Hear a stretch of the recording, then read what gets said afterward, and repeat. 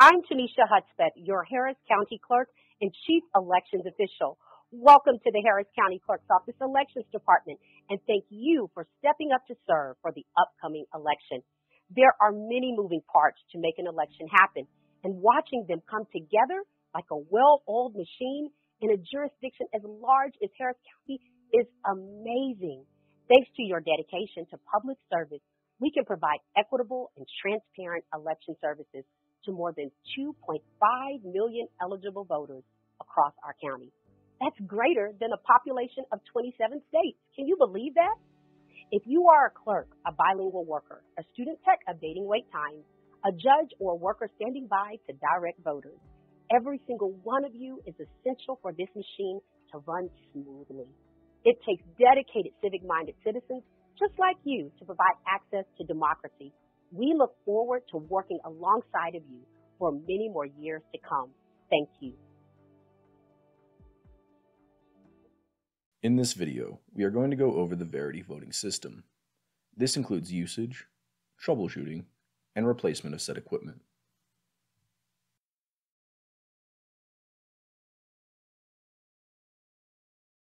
A technical support technician is expected to 1. Provide on-site troubleshooting assistance to polling locations. 2. Communicate only with the presiding judges or their designees. 3.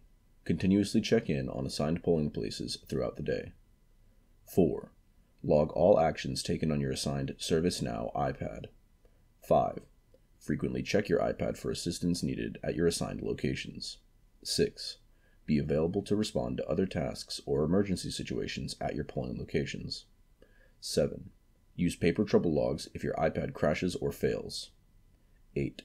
Deliver logs and equipment back to ETC at the end of the day.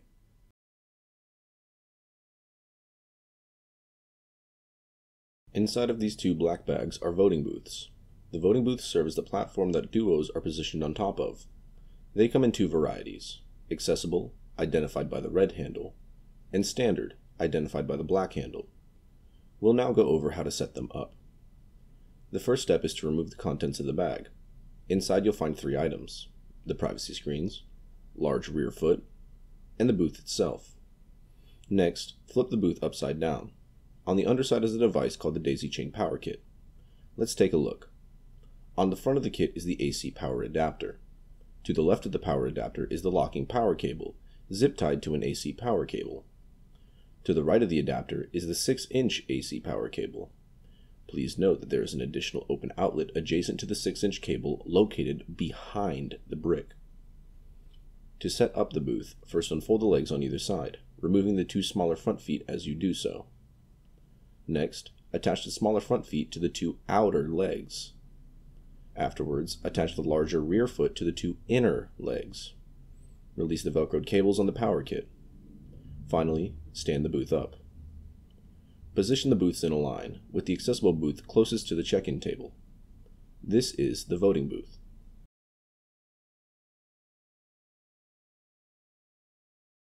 Inside of this black bag is the ballot box. The ballot box serves as a protective container for the ballot bag and the ballots inside, as well as serving as a platform that the scan unit sits on top of. First, remove the ballot box from its travel case. Rotate the ballot box such that the green pull to set up labels are facing up. Release the four latches on each side. Separate the two halves of the ballot box. Next, lower the floor of the ballot box currently folded up inside. Release the three elastic straps holding the lid to the front of the ballot box. Lift the lid up and over the top of the ballot box. The lid is double jointed, so make sure that you get the second joint on top of the first. Open the front door of the ballot box with the provided ballot box key. Press down on the two green Press Here labels to secure the ballot box's floor. Pull the white string towards the front of the ballot box in order to set the locking pins to the unlocked position. Located on the top of the ballot box is a small door covering a slot. This is the emergency reserve slot, where ballots go if the scan is down. On the rear is the emergency reserve access hatch. This is how the judge accesses the ballots in the emergency reserve slot once the scan has been replaced. This is the ballot box.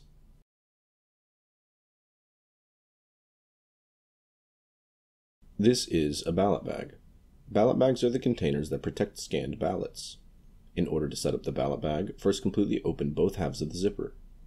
Inside are two metal wires that make up the frame. Lower both metal wires all the way down, securing them in place with the Velcro. Please make sure that the metal wires are completely inside of the Velcro, otherwise the ballot bag will collapse once loaded with votes. Drape the lid of the ballot bag over the outside. Place the ballot bag inside of the ballot box, all the way to the back and all the way to the left with the label facing out. This is the ballot bag.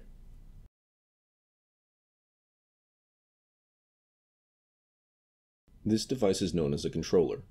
Controllers can be identified by the orange C located next to the handle.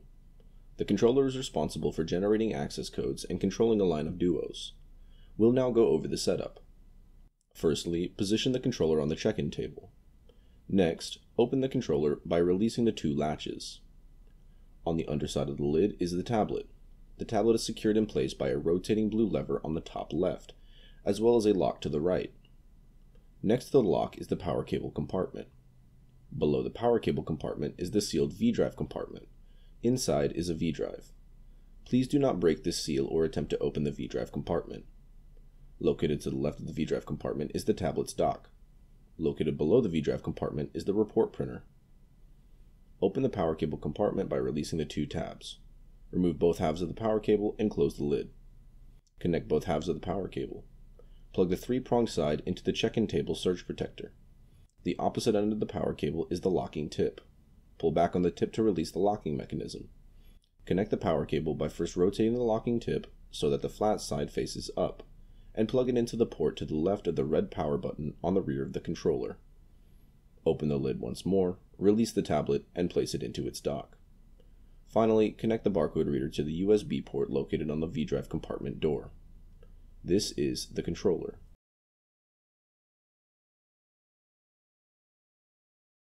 This device is known as a duo. Duos are utilized by the voter to make their selection and print their ballots. Each duo will be positioned on top of a voting booth. First, make sure that the voting booth's locking pin is in the unlocked position by pulling it towards the front of the booth. Next, place the duo on top of the booth making sure that the five rubber feet seat completely inside of the booth. Lock the duo in place by pushing the locking pin towards the rear of the booth. Open the lid to the duo. On the underside of the lid is the duo tablet. The tablet is secured in place by a blue lever on the upper left of the tablet, and a lock located to the right. Next to the lock is the Verity cable compartment. Below the Verity cable compartment is the sealed V-drive compartment. In contrast to the controllers, the duos do not arrive with anything inside of the V-drive compartment. Located to the left of the compartment is the tablet dock. Located below the dock is the ballot printer. We'll go over the operation of the printer later in this video. First, remove the Verity cable from its compartment by releasing the two blue tabs, and close the lid to the duo. The Verity cable, sometimes called data cable, is how each duo communicates with other duos on its voting line, as well as the controller in charge of the line. The Verity cables connect to the Verity cable ports on the rear of the Duos. However, before we connect those, we'll connect the locking power cable from the booths to the Duos. Rotate the locking power cable so that the flat side is facing up, and connect it to the port located to the left of the red power button. Next, connect each Duo in line to the one before it in line using its Verity cable. The first Duo in line will instead connect to the controller. Be sure to connect the power cables before connecting the Verity cables, as you can easily knock the Verity cables loose by bumping them. Open the lid to the Duo. Release the tablet and set it into its dock. Connect the provided ATI module to the accessible Duo at the front of the line. This is the Duo.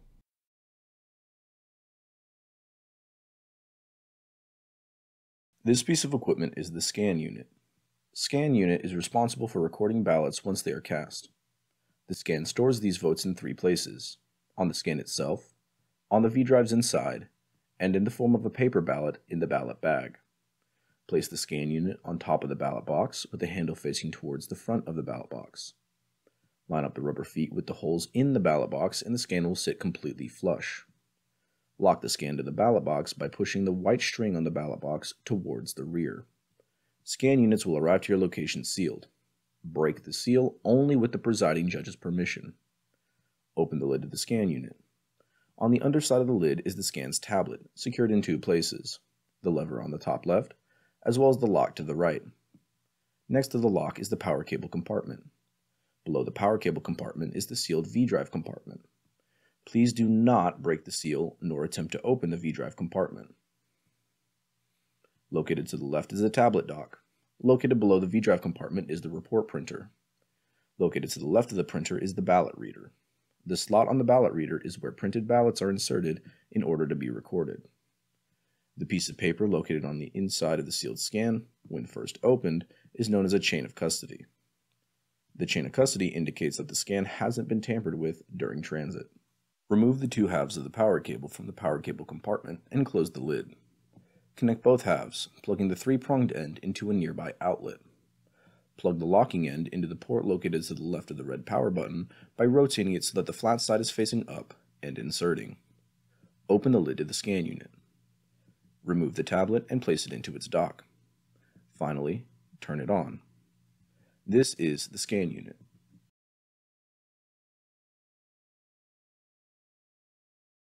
This Black Pelican case is known as an e-poll book case. The e-poll book cases contain e-poll books and their various accessories. E-poll books are used to look up and check in voters. Let's go over the contents now. Located in the center are the e-poll books, as well as an extension cord for the e-poll books. Located to the left are the lightning cables, used for charging the e-poll books. Located below that are the red stands. These are what the e-poll books sit on for most of the day. Located to the right are the charging blocks for the lightning cables. Further to the right is the MiFi, as well as its USB-C charging cable. MiFis are used to generate a Wi-Fi signal for the e-poll books to use. In order to turn on the MiFi, please press and hold the power button until you see the Verizon logo. Some locations will also receive something called an MP70. MP70s are similar to MiFis in that they generate Wi-Fi signals. The difference being that MP70s are significantly stronger. If your location gets an MP70, do not turn on your MiFi. To turn on your MP70, simply plug it into a wall outlet. Please position your MiFi or MP70 somewhere near an exterior door or window in order to guarantee the best signal for the e-poll books.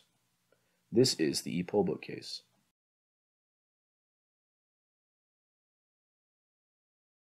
The device shown here is called a daisy chain power kit. It allows each booth to supply at least one other booth with AC power. We will now go over how that works. Located behind the power adapter on the left is the long AC power cable. This cable supplies the booth with power. Plug it into the surge protector. Located to the right of the power adapter is the 6-inch AC power cable. It is plugged into one of two outlets located on the daisy chain power kit. The second outlet is unoccupied and positioned adjacent. This is where the long AC power cable from another booth plugs into. Each booth will run the long AC power cable to the booth before it or after it in line.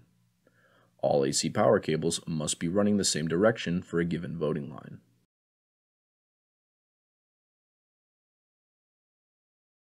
This box contains an ADA call bell. Inside the box you will find the base, the two halves of the telescoping pole, the transmitter, the receiver, the receiver power adapter, the backplate, the ADA plate, two screws and two wing nuts in a plastic bag, and the assembly instruction manual. To assemble the call bell, first remove everything from the call bell's case. Next, set the base flat on the ground. Screw the lower half of the telescoping pole onto the base. Screw the upper half of the telescoping pole onto the lower half. Extend the telescoping pole by loosening the two joints, extending them, and then tightening them. Take the back plate and loosen the thumb screw on the rear until you are able to set the ring over the top of the telescoping pole. Align the screw with the groove along the top of the pole and tighten the thumb screw. Line up the two holes in the back plate with the two holes on the ADA plate. Insert one of the screws through the top hole and hold the plate in place. Tighten one of the wing nuts on the screw until firm. Do the same for the lower hole. Make sure the wing nuts are on the back side of the ADA plate, not the front. Next, plug the receiver's power adapter into a wall outlet and then into the receiver. Place the receiver somewhere inside of the polling location. Once you have done this, test the transmitter by pressing the gray button located on the front. Following this, speak to the presiding judge to determine where they would like the transmitter to be positioned in the parking lot.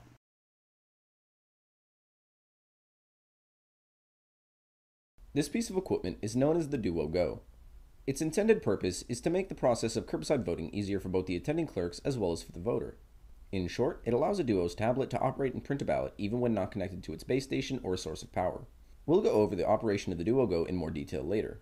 For now, let's go over setup. The Duo Go will arrive to your location secured within a cardboard box, shown here. These both secure the Duo Go and its components for transport. Remove the Duo Go and the white cloth bag from the box. Inside of the white cloth bag, you will find both the power cable and the power cable adapter for the Duo Go. Remove both halves of the power cable and set the cloth bag back inside of the Duo Go's box for safekeeping. Before we proceed, let's go over a few things on the Duo Go. This side, shown here, is the front of the Duo Go. Located to the left of the open section under a sliding dust cover is an ATI module port. Located above the open section is a narrow slot. This is where the printed ballot will emerge after a curbside voter makes their selections.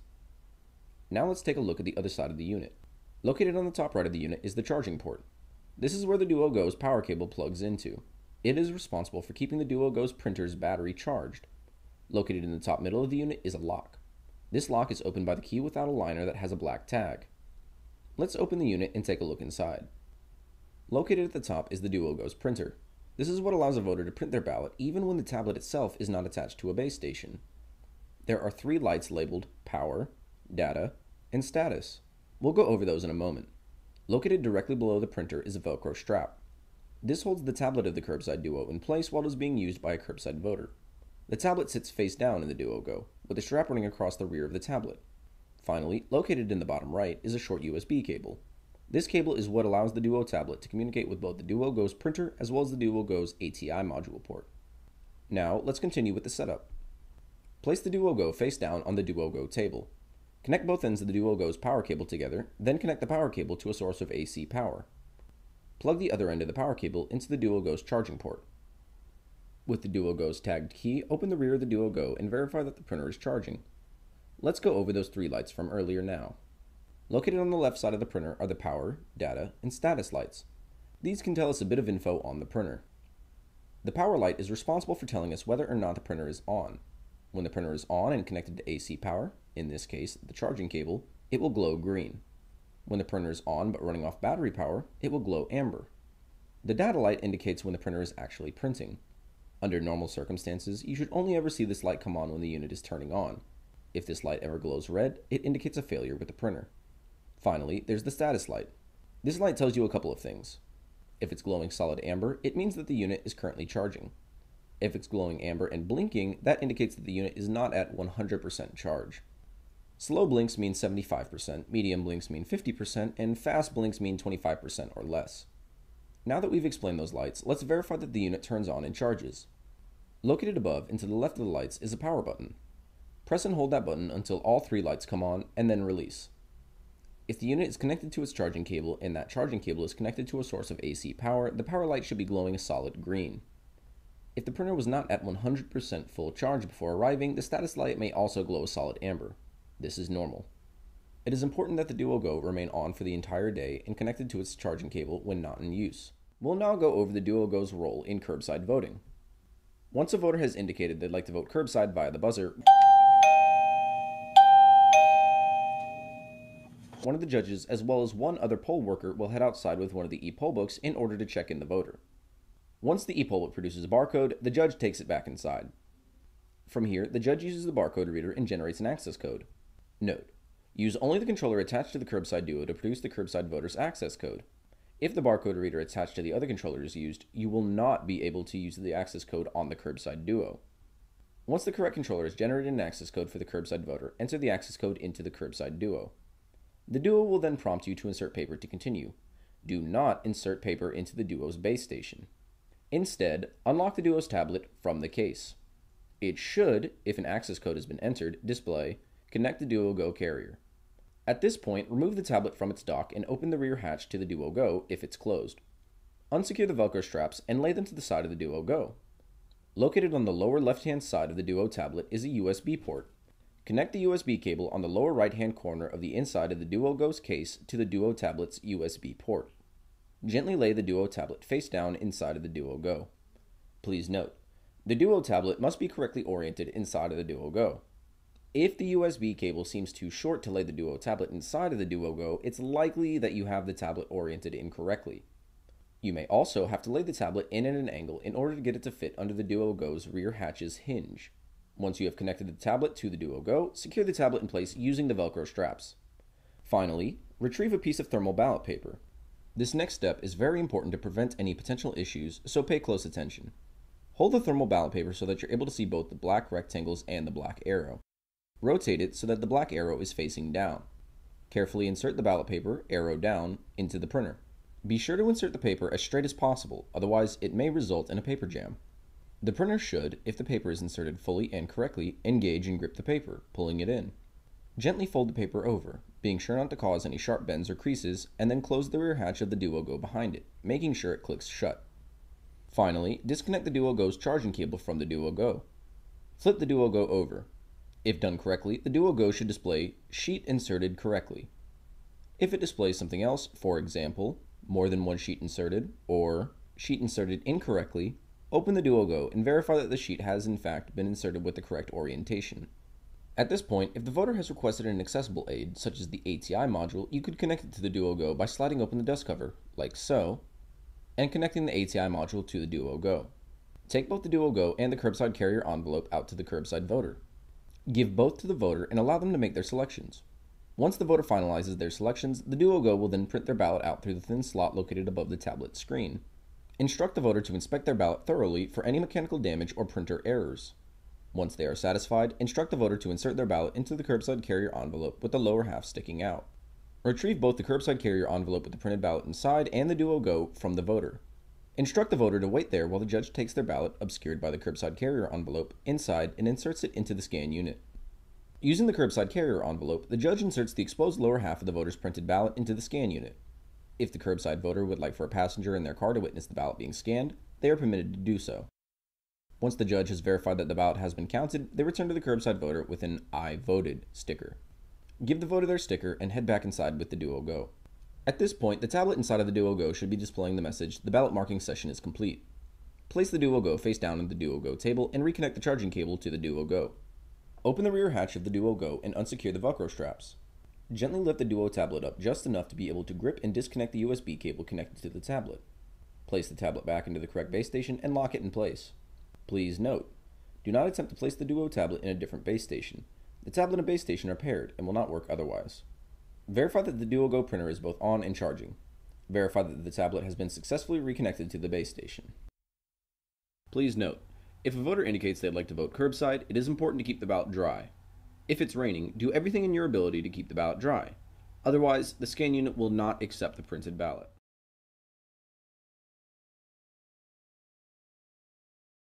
This is a sneeze guard. The sneeze guards are placed in front of the iPads as well as in front of the controllers. They will come unassembled in a flat box.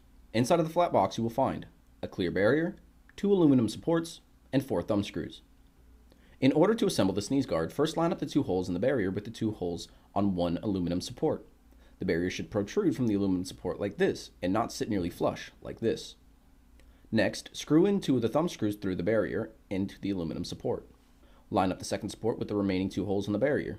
Insert the last two thumb screws and tighten. Finally, stand up the assembled sneeze guard. It should look like this. If it looks like this, the barrier is upside down. This is the sneeze guard.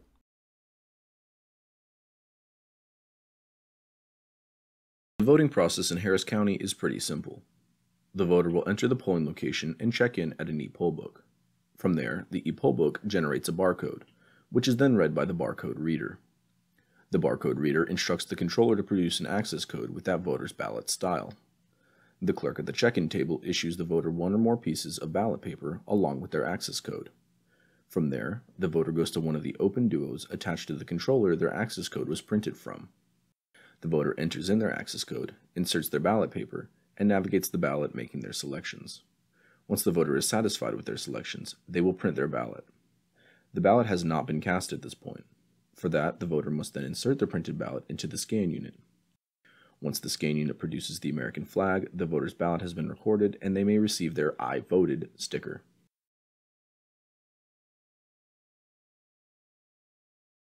In this section, we are going to cover common issues and how to troubleshoot them.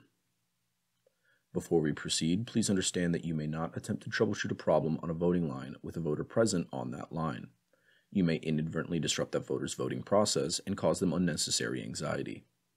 Headphones not working. If the headphones on the ATI are not working, please check that the headphones are plugged into the audio port with the headphone symbol. iPad is losing power. If an ePollbook is losing power throughout the day, please verify that the ePollbook is plugged into a lightning cable and that the lightning cable is plugged into a white charging brick. The USB ports on the surge protectors are not sufficient to keep the ePollbooks charged. Surge protector has no power. If the surge protector is not receiving power, please verify that the switch located near the base of the surge protector is set to the on position. Furthermore, please verify that it is not connected to a dead outlet. MiFi slash MP70 not on or no signal. If the MiFi is not working, please verify that it's turned on. If you see a charging percentage, shown here, the MiFi is not on. You must see the main menu to confirm that it's truly on. If the MP70 is not working, please verify that it's plugged into an outlet and that the outlet is able to produce power. Finally, verify that the MiFi or MP70 is positioned near an exterior door or window. Duo Paper Jam If the Duo experiences a paper jam, you can clear it by following the on-screen prompts. First, enter the poll worker code. The Duo will prompt you to send the paper forward or backwards. Send it whichever direction requires it to travel the shorter distance while simultaneously guiding the paper back to the center of the track with your hand. Finally, select Reprint Sheet. The voter will need to be issued an additional piece of ballot paper. Sheet fails to scan.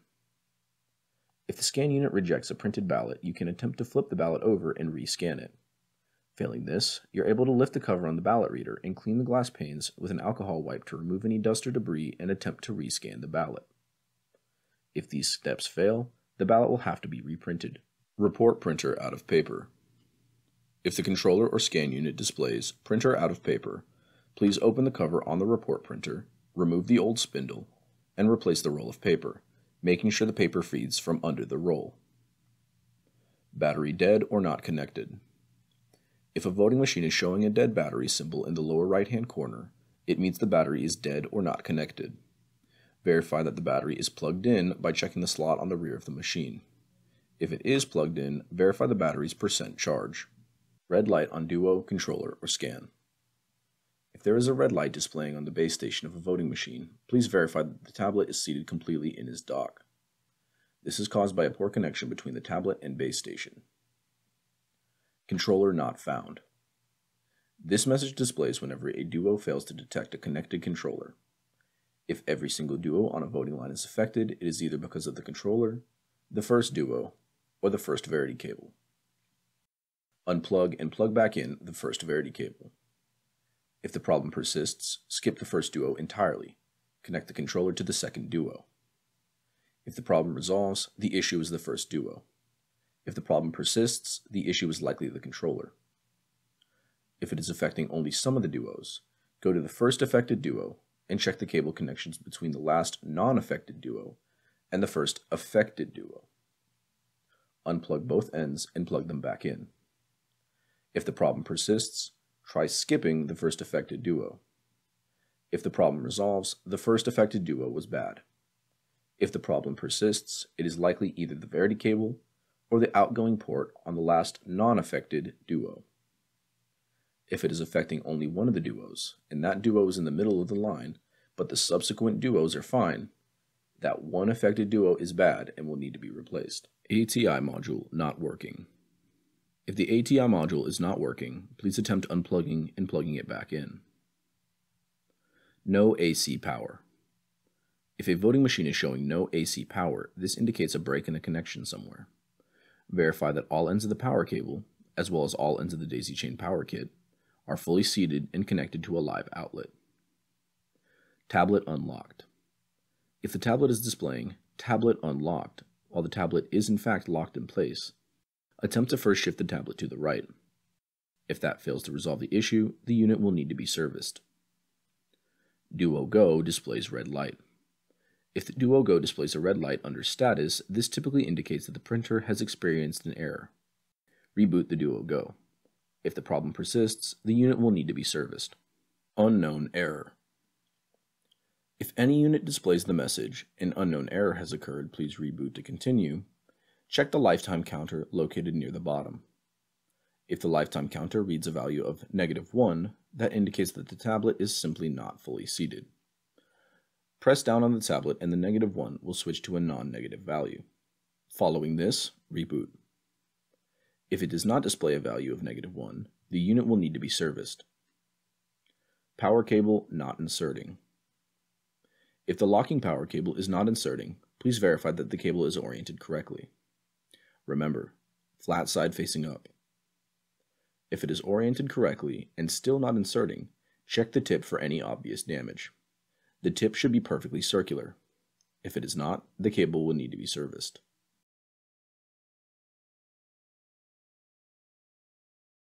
Some techs are issued with reserve duos. If a duo is found to be unfixable at a polling location, it will be replaced by a reserve duo. In order to replace a duo, you must first ensure that the voting line is free of voters. Turn off the malfunctioning duo and place the tablet into its dock. Using one of the provided manila trouble logs, please include a brief description of the issue and tie it around one of the handles. If you tie it around both, we can't open the unit up. Place the duo's Verity cable back into the Verity cable compartment, close the duo, and remove it from the line. The faulty duo will remain at the polling location. Record the duo serial number on the troubleshooting and observation log included in your folder. Record the reserve duo serial number on the same log. Remember, both the original and the replacement duo need their serial numbers recorded. Place the new duo onto the original duo's booth, open the lid, lock the tablet in place, and connect the duo's Verity cable. Finally, turn the unit on. This is how to replace a duo. Some techs are issued with reserve controllers. If a controller is found to be unfixable at a polling location, it will be replaced by a reserve controller. Before replacing a controller, you must call one of the ETC managers. They will walk you through the predefinition process. In order to replace a controller, first ensure that the voting line is free of voters. Turn off the malfunctioning controller and place the tablet into its dock. Using one of the provided manila trouble logs, please include a brief description of the issue and tie it around one of the handles. If you tie it around both, we can't open the unit up. Place the controller's AC power cable back into the power cable compartment, unplug the barcode reader, disconnect the Verity cable, close the controller, and remove it from the check-in table. The faulty controller will remain at the polling location. Record the controller's serial number on the troubleshooting and observation log included in your folder. Record the reserve controller's serial number on the same log. Remember, both the original and the replacement controller need their serial numbers recorded. Place the new controller on the check-in table. Open the lid, lock the tablet in place, and connect the AC power cable. Finally, turn the unit on. While the unit is booting, swap out the paper roll inside of the controller for the correct color. If the controller already has the correct paper color, you may skip this step. Once the unit has finished booting, you will have an ETC manager walk you through the predefinition process. Do not attempt to predefine the controller on your own. If done wrong, it can cause more issues than it fixes. Once the controller is predefined and the polls are open, you may connect the barcode reader and the Verity cable. This is how to replace the controller. Some techs are issued with a reserve scan. If a scan is found to be unfixable at a polling location, it will be replaced by a reserve scan. Before replacing a scan, you must call one of the ETC managers. They will walk you through the predefinition process. In order to replace a scan, turn it off and place the tablet into its dock. Using one of the provided manila trouble logs, please include a brief description of the issue and tie it around one of the handles. If you tie it around both, we can't open it up. Place the scan's AC power cable back into the power cable compartment and close the scan. In order to remove the scan, you will need to break the seal on the ballot box's front door and unlock it from the top of the ballot box. Make sure you have the judge's permission to do so. The faulty scan will remain at the polling location. Record the scan serial number on the troubleshooting and observation log included in your folder. Record the reserve scan serial number on the same log. Remember, both the original and the replacement scan need their serial numbers recorded. Place the new scan onto the ballot box and secure it in place. At this point, lock and seal the door to the ballot box. Open the scan, lock the tablet in place, and connect the AC power cable. Finally, turn the unit on. Once the unit has finished booting, you will have an ETC manager walk you through the predefinition process. Do not attempt to predefine the scan on your own. If done wrong, it can cause more issues than it fixes. This is how to replace the scan.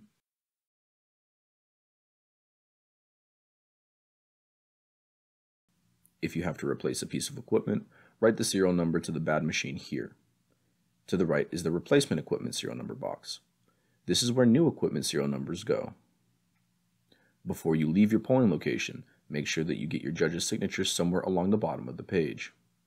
This is the troubleshooting and observation log.